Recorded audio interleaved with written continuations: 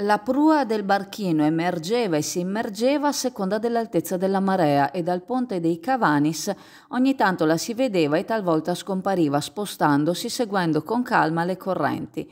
Oggi la prua del barchino, un relitto storico che da anni vaga in questo specchio di laguna, è stato avvistato e segnalato ai vigili del fuoco, che prontamente sono accorsi per il suo recupero a bordo dell'autopompa lagunare. Lo hanno accompagnato fino allo scivolo lungo la passeggiata dell'Usenzo all'altezza di Borgo San Giovanni e si sono cimentati in forze per issarlo.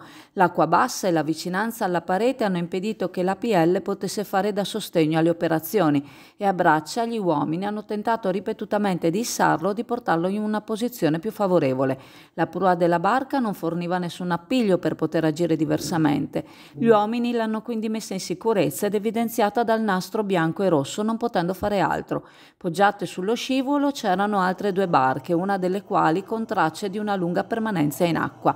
Per il relitto recuperato oggi erano stati fatti appelli per il suo recupero, in quanto avrebbe potuto costituire un problema per la navigazione.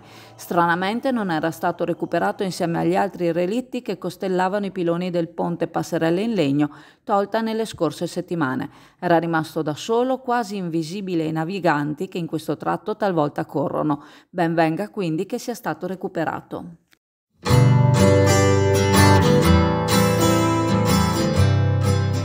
Dal 1978 a Borgo San Giovanni a Chioggia la pasticceria Serenissima propone la sua caffetteria, la sua pasticceria artigianale, dolce e salata e le gustose torte per tutte le occasioni e ricorrenze. Gusta la tua colazione alla pasticceria Serenissima con la sua selezionata caffetteria e le sue brioche artigianali. Pasticceria Serenissima a Borgo San Giovanni, a Chioggia.